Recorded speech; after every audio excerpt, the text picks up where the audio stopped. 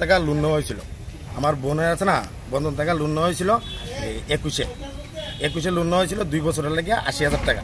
তো এই অসুস্থতার কারণে লাস্টে পেন্ডিং রয়েছে সতেরো হাজার সামথিং লোনটা লওয়ার পরে তারা বাড়ি থেকে কইছে, আপনার আঠারো হাজার টাকার মতন আছে লোনটা আপনি ষোলো হাজার টাকার মতন দিলে লোনটা মুকুব। আবার নতুন করে লোন নিতে পারবেন। তখন আমরা কইছি দেখে আর জামাই আছে না, বাড়ির বন্ধক টন্ধক দিয়া বিদেশ গেছে, আয়া টাকা ফাটাইলে আপনার এই টাকাটা ষোলো হাজার টাকা পরিশোধ করে দেওয়া হইব, নতুন করে আর লোন টোন নেওয়া হইতো আজকেও আবার বাড়িতে গেছে, গিয়ে সেটা কইতেছে, এমন এমন আপনার টাকাটা ইমিডিয়েটলি দিতে লাগবে।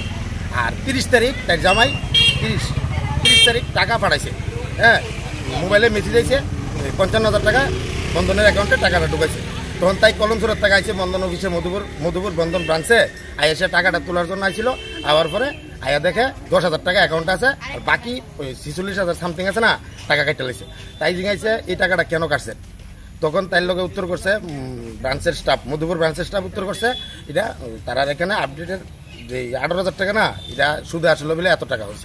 আজকে তো দিনের বেলা আপনার বাড়িতে কয়েছে ষোলো হাজার টাকা আট হাজার টাকা দিলে শেষ হয়ে যাব। হ্যাঁ, আজকে কইছিল আঠারো হাজার টাকা সামথিং ষোলো হাজার টাকা দিলে মানে এটা লোনটা মুকুব হয়ে যাবে কাটার কাটার কারণটা কি? কাটার কারণটা কেন তারা তো এটা মাফিয়ার মতন করতেছে। আপনার কি চান এখন এখন এটা উপযুক্ত বিচার চাই। অ্যাকাউন্টটা কার নামে? অ্যাকাউন্টটা আমার বোন। নাম কি? সীমাশীল বাড়ি কলমছড়া কোন জায়গা ব্রাঞ্চ এটা? এটা মধুপুর ব্রাঞ্চ